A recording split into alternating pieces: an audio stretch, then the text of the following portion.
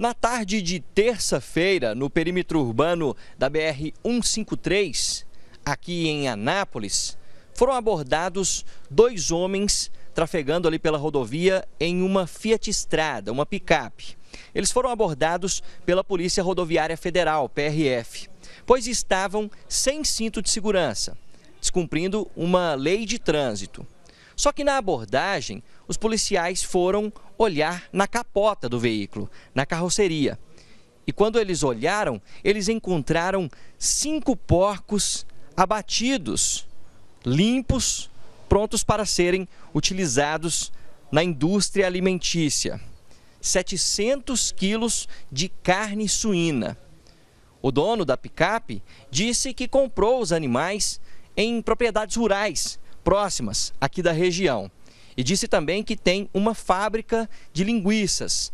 Portanto, estes animais, esta carne suína, seria utilizada na fabricação de linguiças e vendidas em bares e restaurantes aqui da região de Anápolis.